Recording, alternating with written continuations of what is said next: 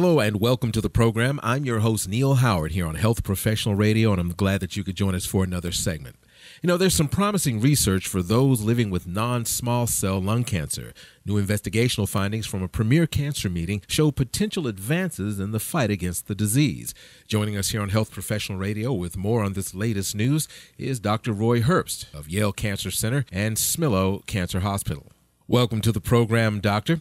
Uh, doctor, what is non small cell lung cancer and how prevalent is it?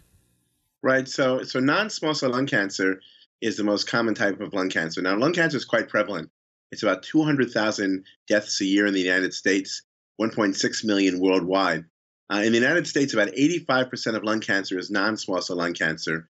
And the reason we're interested in that is about 10 to 15% of the patients with non small cell lung cancer will have abnormalities called epidermal growth factor receptor mutations in their cancer, which makes them a target for the, for the therapy I'm going to tell you about now. Was this therapy uh, part of the information that was presented uh, surrounding non small cell lung cancer uh, medical advances this year at uh, the ASCO? Well, um, at the American Society of Clinical Oncology meeting uh, held virtually, I presented one of the plenary abstracts. So, um, you know, the, the main session. Um, this was a, a, trial called ADAURA. It was uh, done in partnership with AstraZeneca, a worldwide trial of 800 patients from US, Asia, Europe, you know, all continents. And basically, what this trial did is it took patients with uh, lung cancer that had been removed. And in about 30% of cases, we can actually take out the lung cancer. But even when that's done, uh, about 50 to 75% of patients will still have their cancer come back. So clearly, there's an unmet need there.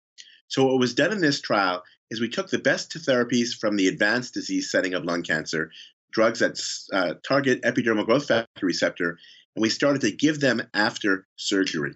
Uh, and to this point, it had never been done.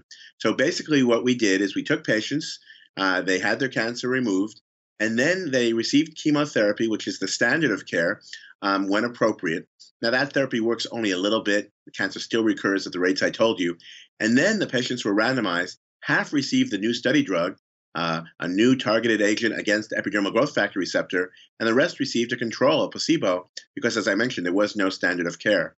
And we presented these data and actually showed an 83% decrease in returns, 83% in the patients who received the drug versus the control.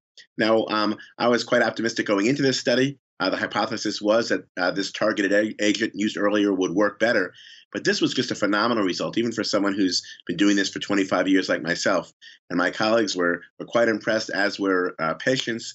And this now affords a new opportunity to treat people with this disease to keep the cancer from coming back to the lung, to vital organs, to the brain. So, uh, very excited about the, these data, as you can see. Could you expand on the significance of these findings, not just to the non small cell lung cancer community, but to the lung cancer community as a whole? Right. Well, you know, in, in my opinion, and again, I am the, the lead investigator, but I, I believe this is practice changing because now, um, at the uh, time of uh, uh, removal of the cancer, uh, the, the oncologist like myself, with a surgeon and the rest of the team, can actually analyze uh, the patient's tumor, uh, understand if it has this specific abnormality, and now we have a new weapon against the disease. And I can tell you, taking care of patients uh, quite often, that you know people worry: will the cancer come back? Will it will it cause harm, side effects? And to keep that from happening is huge. So I believe this will be practice changing. Um, certainly, the trial will continue to uh, be followed for other endpoints, uh, local versus uh, distance spread, um, you know, other therapies that patients go on, quality of life, ultimately the overall survival. Uh, we'll we'll look at that in a few years. But right now, these data are so compelling uh, with with that that difference of 83 percent that I believe that uh, people will take note of it right away. Do you think that the mindset of the severity of lung cancer will change uh, based on these findings or this therapy in particular?